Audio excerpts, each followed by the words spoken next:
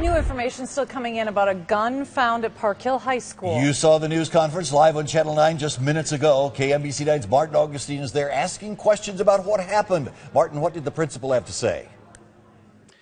Well, Larry, the student who brought the gun is in custody tonight. The Platte County Sheriff's Office continues to investigate this incident. This all came to a head this afternoon when another student learned about the gun that the student in question had. That student who learned about the gun went to a school staffer and told them what was going on. Now, that the student with the gun was then summoned to the school office, asked about the gun, and he surrendered the gun, a 22 caliber pistol, without incident. Now, the student telling uh, authorities that he did not have any issue with anybody here at school. The reason he had the gun was not school related and that he intended no harm to anybody here. Now, tonight, Dr. Brad Kinchlow, the Park Hill High principal, had high praise for the student who came forward and, and told someone about the gun to, uh, uh, uh, and, and uh, did the right thing to come forward about it.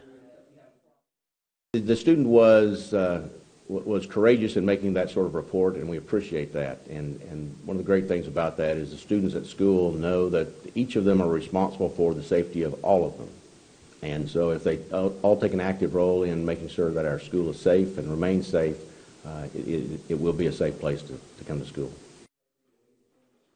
Now, as we said, the student who brought the gun to school is in custody. An investigation continues. Uh, Park Hill sending out an email to parents, also sending out text messages about what happened. The basics here again: uh, the student who brought the gun uh, was reported to uh, school staff by another student. The gun in question, a 22 caliber handgun, it did have a loaded clip, but that student said that he did not intend to use the gun at school.